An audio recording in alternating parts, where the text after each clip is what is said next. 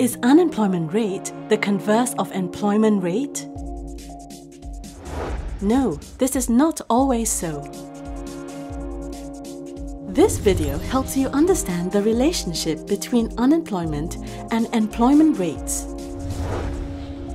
We begin by looking at the working age population.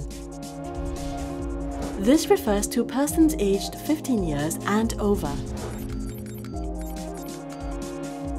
They are either employed, unemployed, or economically inactive. The employment rate is the percentage of employed persons out of all persons in the working age population. The rate shows a country's ability to engage its population in work and thereby generate income.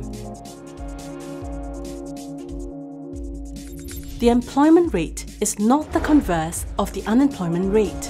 This is because persons who are not employed can either be unemployed or economically inactive.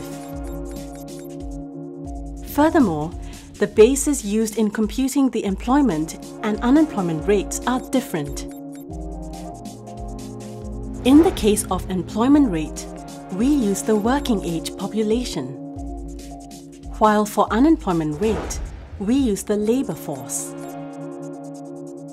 As the unemployed refers to those who are actively looking and available for work, we do not consider the economically inactive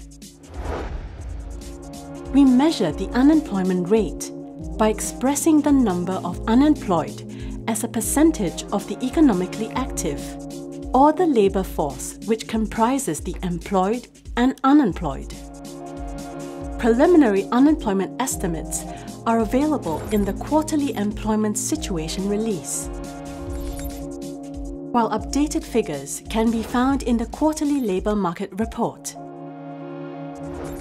The employment rate is reported in the Annual Singapore Workforce and Report on Labour Force in Singapore. These publications can be accessed on our website, where you can view other related modules in this series and obtain key statistical findings on the labour market in rich infographics and videographics.